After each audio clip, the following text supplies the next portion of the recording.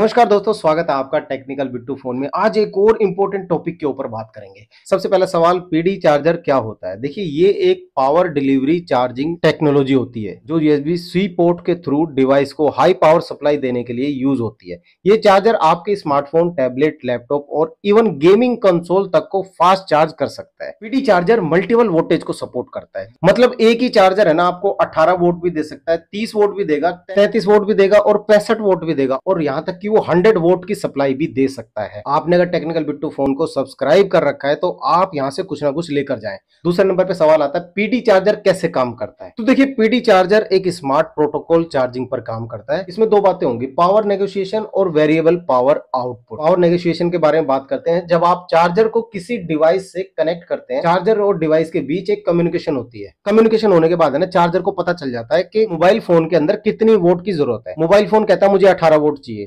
Charger उसको अठारह ही देगा। अठारह से ज़्यादा नहीं देगा, अठारह से कम नहीं देगा। उसको वो प्रॉपर चार्ज कर देगा। और इसी तरीके से अगर आपके पास तैतीस वोट का मोबाइल फ़ोन है कंपनी वाले ने जो उसके मैकेनिज्म में तैतीस वोट का सिस्टम डालकर दिया तो पीडी चार्जर उसको तैतीस वोट दे देगा। एक ही चार्जर ये होता है पीडी चार्जर। मतलब एक ही चार्जर आपको डिवाइस की रिक्वायरमेंट के हिसाब से चार्जिंग प्रदान करता रहेगा। जैसे कि मान लीजिए लैपटॉप में आपने वो चार्जर लगा दिया। भाई साहब वहाँ अगर हंड्रेड वोट की ज़रूरत पड़ रही है तो वो उसको हंड्रेड वोट दे देगा। कहने का मतलब पीडी चार्जर से नुकसान होने का खतरा नहीं रहता। दूसरा आपको बताता हूँ variable power output PD charger device को उतनी ही पावर देगा जितनी की डिवाइस को ज़रूरत होती है। अगर फ़ोन को 18 वोट चाहिए तो 18 और लैपटॉप को पैंसठ चाहिए तो पैंसठ देगा। अब इस टेक्नोलॉजी के ना फ़ायदे सुन लेते हैं। ये मोबाइल फ़ोन को ओवर हीटिंग और ओवर चार्जिंग से बचाता है। जो इसे और चार्जरों से सेफ़ बनाता है। अब तीसरा सवाल ज़्यादातर मुझसे ये पूछा जाता है कि पीडी चार्जर और नॉर्मल चार्जर में क्या अंतर है? इन, इन दोनों में ना आपको तीन बातें बताता हूँ ध्यान से सुनना। नॉर्मल चार्जर जो होता है वो फिक्स वोल्टेज देगा। अगर वो 10 वोट का है तो 10 वोट ही देगा। अगर वो 18 वोट का है तो 18 वोट देगा। जबकि पीडी चार्जर आपको मल्टीपल वोल्टेज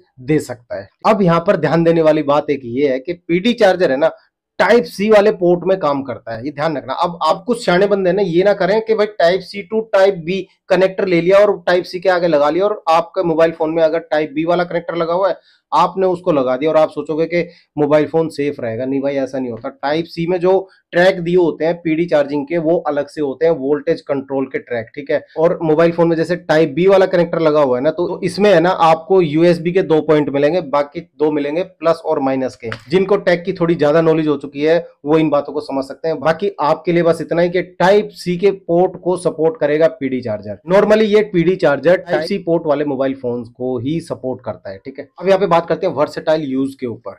एक ही चार्जर से है ना, आप लैपटॉप भी चार्ज कर सकते हो टैबलेट भी चार्ज कर सकते हो मोबाइल फ़ोन भी चार्ज कर सकते हो मल्टीपल डिवाइस आप चार्ज कर सकते हो टाइप सी पोर्ट वाले, ठीक है? इतनी बात आपकी समझ में आ गई। मेरा ख्याल है आप सारी बातें समझ चुके हैं पीडी चार्जर के बारे में, आप कोई क्वेश्चन नहीं करेंगे तो आपके मन में कोई क्वेश्चन नहीं रहेगा पीडी चार्जर का इसलिए चैनल को आप जल्दी से सब्सक्राइब कीजिए, मैं एक पॉइंट और आपको बता देता हूँ, क्या पीडी चार्जर हर डिवाइस को चार्ज कर सकता है? जी हाँ बिल्कुल कर सकता है। लेकिन ध्यान रखना ज़रूरी है कि आपका डिवाइस भी USB type C power delivery protocol को सपोर्ट करता हो। अगर डिवाइस पीडी कंपेटेबल नहीं है तो चार्जर नॉर्मल स्पीड पे काम करेगा। अब यहाँ पे वो बात आ जाती है जो मैंने आपको थोड़ी देर पहले बताई। अगर आपने सोच लिया कि भाई चार्जिंग कनेक्टर ले लेता हूँ type C to type B charging connector दस दस पंद्रह पंद्रह रुपए के मिलते हैं ना वो लगा के आप अगर ये सोचो कि आपका मोबाइल फ़ोन में भाई वोल्टेज अच्छी मिल जाएगी या जल्दी चार्ज हो जाएगा आपका मोबाइल फ़ोन तो नहीं वो नॉर्मल स्पीड पे ही होगा। अगर मोबाइल फ़ोन में एकवल चार्जिंग प्रोटोकॉल दे रखा है तो वो नॉर्मल स्पीड से ही चार्ज होगा। यहाँ पर इसको समझने के लिए आसान तरीके से ये बताता हूँ। अगर आपका फ़ोन मान लीजिए वीवो का वाई ट्वेंटी है या वीवो का वाई बारह है ये फास्ट चार्जिंग सपोर्ट नहीं करते। आप अगर इसमें फास्ट चार्जिंग लगा दोगे थर्टी थ्री वोल्ट वाला तो आ, ये तो ऐसा नहीं है ये फ़ोन जल्दी चार्ज हो जाएँगे। होंगे ये नॉर्मली चार्ज ठीक है? अगर क्या होगा ज़्यादा देर लगाने से आपका मोबाइल फ़ोन भी गर्म होगा आपके मोबाइल फ़ोन का जो चार्जिंग जैक होगा ना वो भी गर्म होगा आपके मोबाइल फ़ोन की बैटरी वो भी फूलने लग जाएगी।